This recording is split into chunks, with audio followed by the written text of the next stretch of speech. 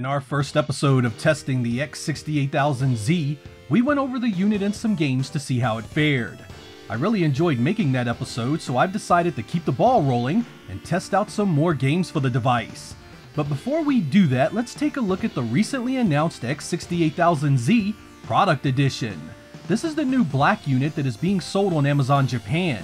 This little beauty releases officially on September 28th and comes in a number of different packages, including one that comes with a matching black keyboard and mouse, and even one with a tiny 4.3 LCD monitor. All three packages will come with a Famicom-like gamepad that has two action buttons. There is also a new game pack that will be available soon, which contains the games Genocide and Phalanx by the developer Zoom. As you can imagine, these units are highly sought after and expensive, but so far, Amazon Japan will not be shipping these worldwide. This new release will be coming with the same hardware that powered the original X68000Z. Inside this little guy, it's powered by the Z7213 system on a chip that was also used in the Genesis Mini, the TurboGrafx Mini, and the Astro City Mini. It's a quad-core Cortex A7 CPU paired with a Mali 400 GPU, 512 megabytes of RAM, and 512 megabytes of NAND storage. But enough about that, let's get right into testing out some games.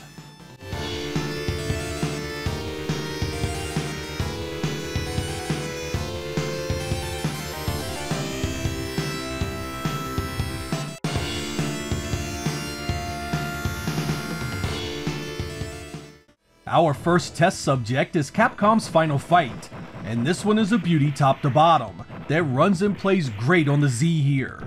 You do get less enemies on the screen, but outside of that, the color and detail is shockingly accurate. For most of the important reasons, this is Final Fight as you loved it in the arcade. All three characters, all the stages, two-player co-op, and one kick-ass soundtrack. I played it quite a bit and ran into no issues that I would call problematic. The controllers I tried worked well, a combination of the Retrobit Genesis and Sega Saturn pads. I'll leave you with some gameplay so you can get a feel for how this one is handled.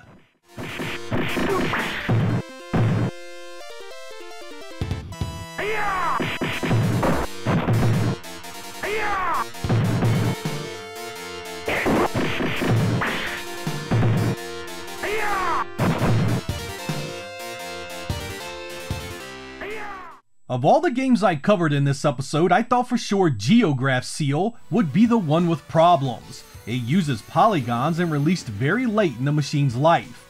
Whatever magic the developers conjured up to program this surely wouldn't run on the X68000Z, right? Wrong, because from what I can tell, this ran and played just fine. I had no issues at all running around with my controller laying waste to all the bad guys in the area. I noticed no graphical glitches or sound issues to speak of either. And that's very good news because Geograph Seal is one heck of a fun game. If you have an X68000Z coming in September, this one is a must play.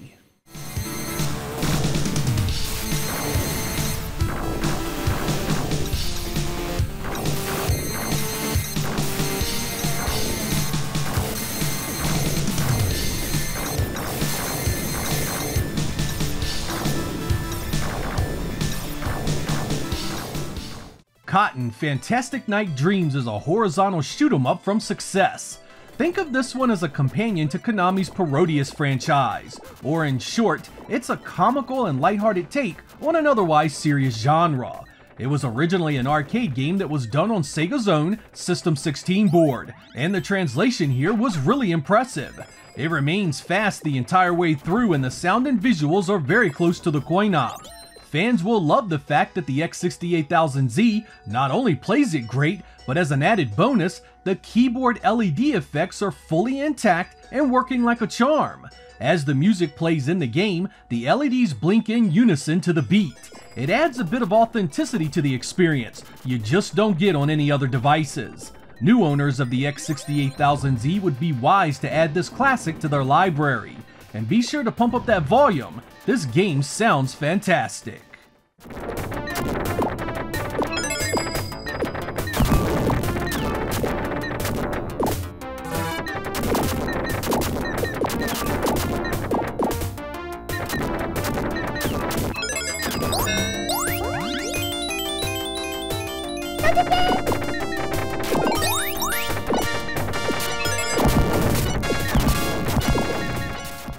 Alien Syndrome was an overhead running gun that Sega developed and released in the arcade for the System 16. It essentially takes its entire premise from the Aliens franchise. Rescue your shipmates from the alien scourge that infest your spacecraft.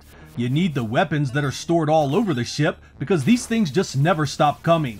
Flamethrowers, lasers, and secondary options abound, and there is a map that you can follow that shows the captives' locations. The X68000Z does a bang up job here, and I had no issues running and gunning for a good number of levels. Even the massive boss encounters were spot on. This has the arcade's two-player co-op as well, so it makes an excellent addition to your X68000Z just for the multiplayer. Arcade ports like this made this platform special, and this one works just fine.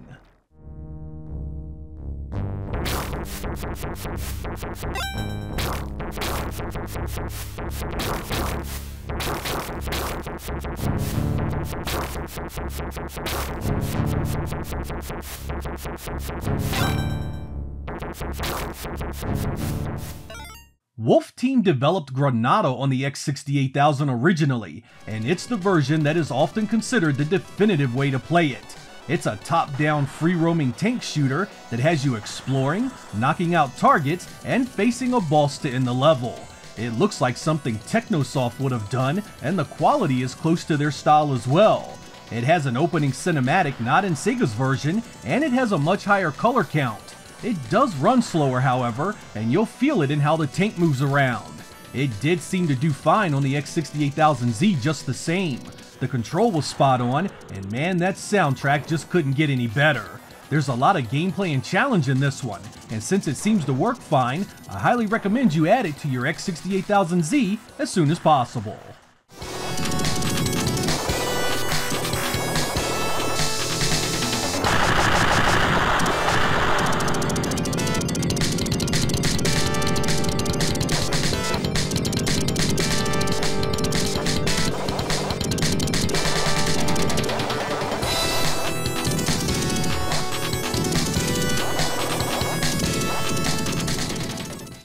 Are few games on the X68000 as fun and as well made as 1991's Aquales. This is a side-scrolling action platformer where you control a mech outfitted with multiple weapon types, facing down countless enemies. The visuals are awesome with backgrounds that are loaded with multiple layers. Essentially, you are on an extermination mission, taking down everything around you. You can switch your arsenal at any time, and you have a grappling hook at your disposal to help you climb around the level. And you'll need it because there's lots of verticality to these areas. There is also an experience system in place to level up your stats, giving it an edge over the usual games you saw in the genre. This runs fantastic on the X68000Z, with no hiccups to speak of. Even if you just want to mess around with an X68000 emulator, Aquales is one of those games you just gotta try.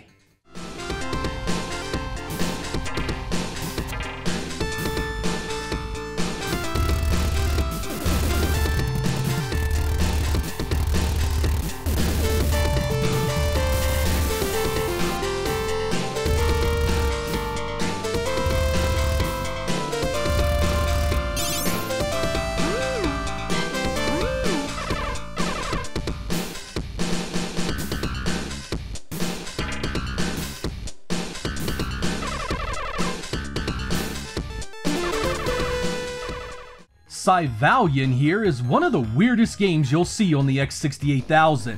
You control a dragon in maze-like levels trying to make your way to the end to face a boss. But the challenge is crazy high because the enemies only need to touch your body, anywhere on your body, to do massive damage to you. I have always been terrible at this game, but I try and try again because the concept is so unique. On the X68000Z, it runs and looks very similar to the arcade, which was originally done by Taito. This one I'll only recommend to those of you that love a challenge. It can be absolutely rage-inducing.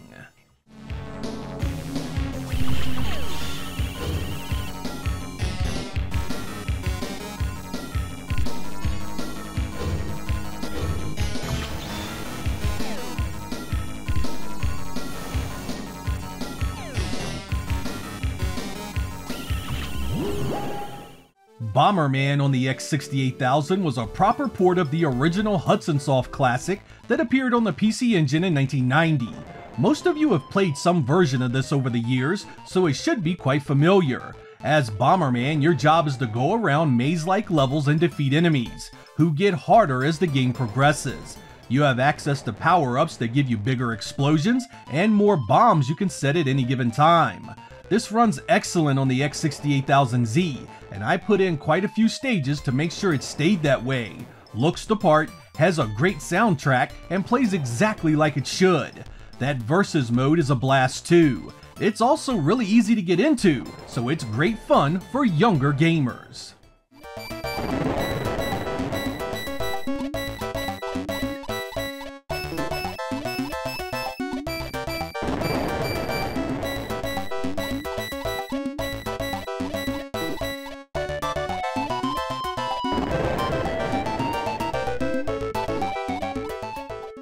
Bubble Bobble was another Taito classic the X68000 received, and it too runs great on the X68000Z.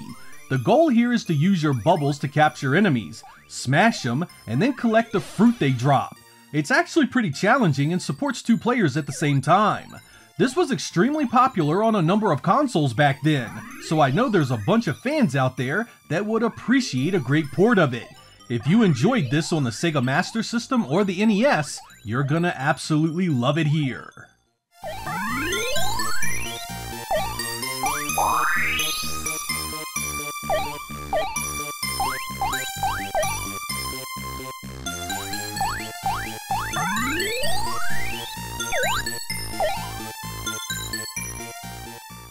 Since there was a new game pack announced from Zoom, I decided to give the included titles a whirl on the X68000Z to see how they ran, and as expected, they both fired up without a hitch.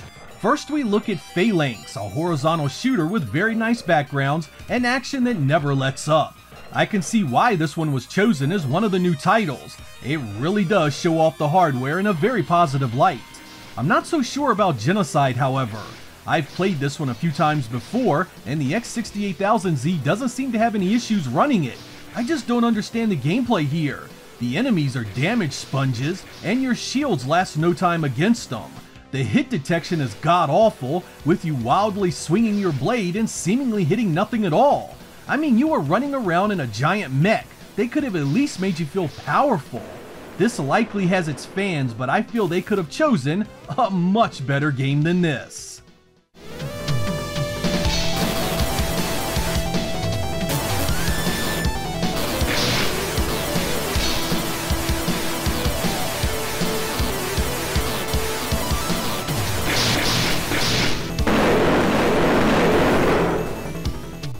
Like the first episode, I ran into some problems with a few titles you should be aware of. First, the X68000 Classic Mad Stalker Full Metal would not run on the X68000Z no matter what I tried. I also had an issue getting Thunderblade up and running, which seemed to error out on me despite trying multiple different images. And finally, there was Dragon Buster, the Archives Volume 7 entry that crashed the entire X68000Z system every time I tried to play it. If you are shooting for any of these to be in your X68000Z library, be prepared to wait for a future firmware upgrade before they are playable. I'd also like to mention that while in the middle of making this, the software was upgraded on the X68000Z, adding the feature of showing more files on the SD card, but otherwise adding no improvements to the games I could not get to run. Even the issues I had with Thunder Force 2 in the first episode are still very much present. I'm actually looking forward to the September release of the product edition, because almost certainly it will be accompanied by a software update that is far more feature rich than the bare bones options it currently has. The X68000Z needs more support for different file types, more options for things like sound module expansion, and 6-button controller support for the games that use them. In its current state, despite it being cool as hell, I do not believe this is a user-friendly device at all. You might want to keep that in mind should you have any interest. Even if you snag one at retail, it is still significantly more expensive than most other mini devices. There is a world of potential here, but it still has a way to go before it reaches it. I'm Sega Lord X, Thank you guys for watching, and I will catch you next time.